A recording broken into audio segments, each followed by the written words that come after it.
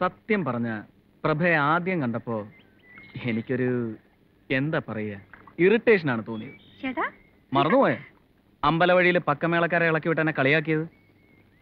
തെരുക്കൂത്തുകാരി വായാടി എന്നൊക്കെ മനസ്സ് വിളിച്ചു. എന്നിട്ട്? പിന്നെ തിരുമേനിയുടെ മുമ്പിലുള്ള ആ പെർഫോമൻസ് അതെനിക്ക് ഇഷ്ടമായി പക്ഷെ അവിടെ വെച്ചത് പുറത്ത് കാണിച്ചുകൂടല്ലോ. എന്നിട്ട്? പിന്നീടാണ് ആ രാത്രി വന്നത്. നട്ടുവന്റെ മുന്നിൽ ആ നൃത്തം ആടി നിന്ന പ്രഭ എന്ന കലാകാരി എനിക്ക് എത്തിപ്പിടിക്കാവുന്നതിലും എത്രയോ ഉയരായിരുന്നു അയ്യോ അങ്ങനെയൊന്നുമില്ല.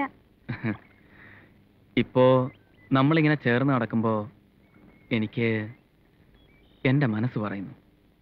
ഉത്സവരാത്രിയിൽ കാഴ്ചക്കാരെ രസിപ്പിച്ച് രണ്ട് വഴിക്ക് പിരിഞ്ഞു പോകാനല്ല നമ്മൾ വന്നതെന്ന്. ഈ കണ്ണുകൾ പറയുന്നുണ്ടല്ലോ എന്റെ മനസ്സ് എപ്പോഴേ വായിച്ചു കഴിഞ്ഞെന്ന്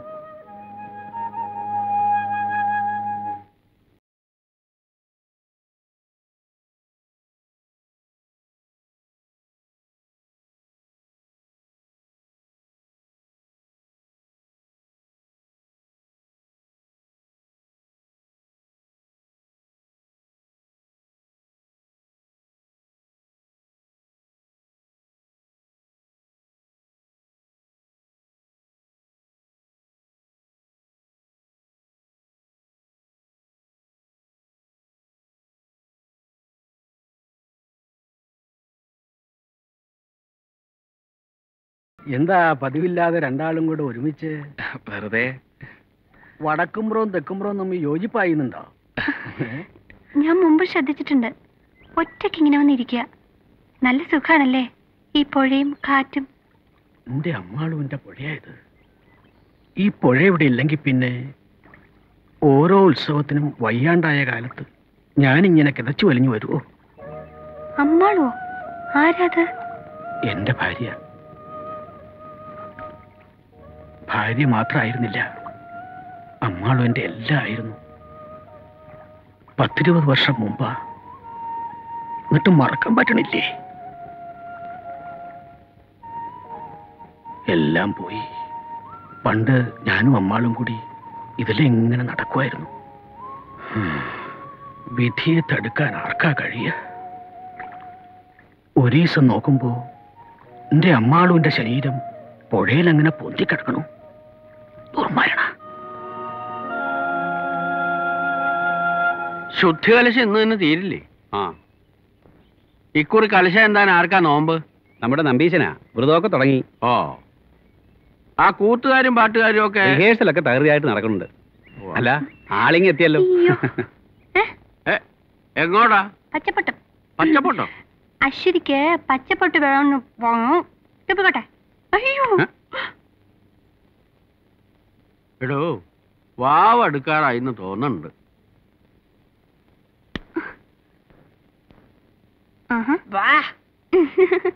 എന്താ മനസ്സിൽ വിചാരിച്ചിരിക്കണേ? എന്താ? പച്ചപ്പെട്ടു വേണം പച്ചപ്പെട്ടു വേണം എന്ന് പറഞ്ഞപ്പോഴേ ഞാൻ മനസ്സിൽ കരുതിയതാ എന്തോ പ്രശ്നമുണ്ടെന്ന്. പുഴയോടത്തൂടി പഠിക്കാനാണെന്ന് പറഞ്ഞാൽ പ്രേമിക്കായി വീട്ടിൽ ചോദിക്കാനും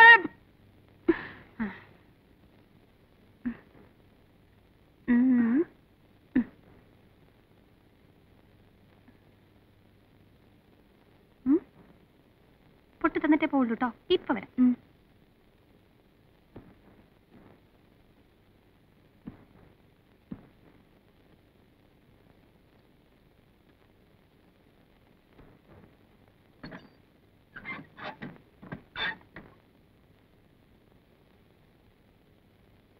Hey.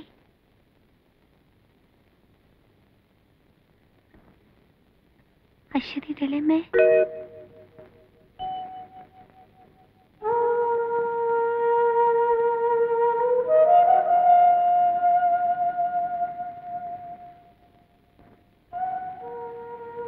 അകത്തേക്ക് വന്നോട്ടെ.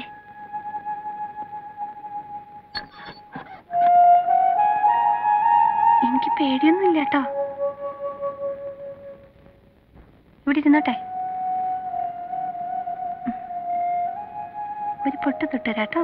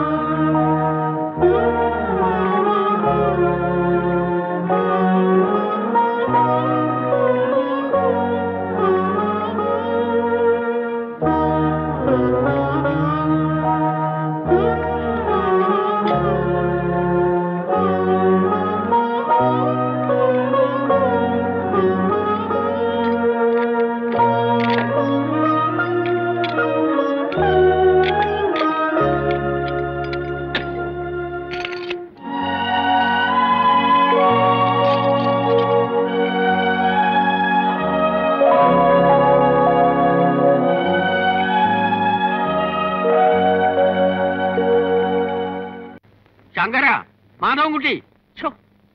ഒരെണ്ണത്തിനും വിളിച്ചാ കാണില്ല അത്യാവശ്യ സമയത്തിന്. ഇദ്ദേഹം ഒന്ന് സമാധാനമായിട്ട് ഇരുന്നട്ടെ നാല് ഭാഗത്തേക്ക് ഞാൻ ആളിനെ വിട്ടിട്ടുണ്ട്.